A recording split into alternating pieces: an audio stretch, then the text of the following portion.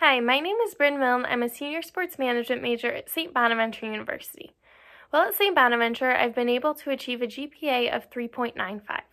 I've really enjoyed my time at St. Bonaventure as I've been able to develop a lot of great relationships with my professors and my peers, as well as they've given me a lot of really great job opportunities.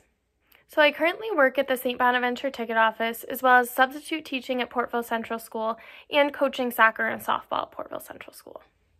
Through working at the ticket office and at Portville, I've learned how to be a leader, learned how to build really good relationships with my coworkers as well as my boss, and I've just taken on a lot of responsibilities that I feel will help me in the future.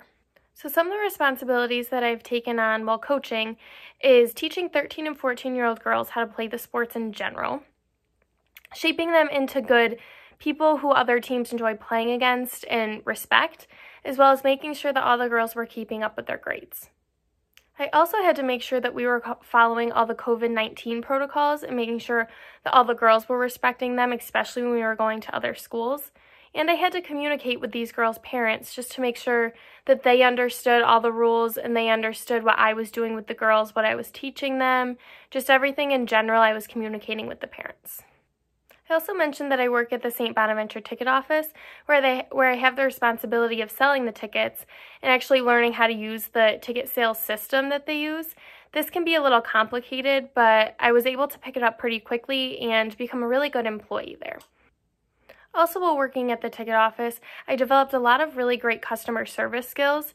We actually implemented a COVID 19 vaccine policy about halfway through our season, which a lot of our season ticket holders and loyal customers were pretty upset about.